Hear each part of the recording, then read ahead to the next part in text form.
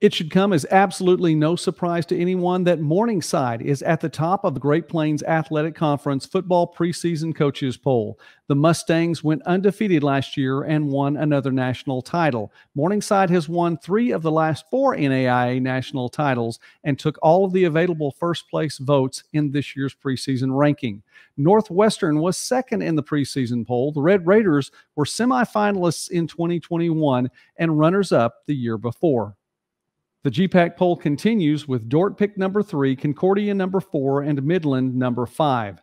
Then it was Doane, Dakota Wesleyan, Hastings, Jamestown, Briar Cliff, and Mount Marty.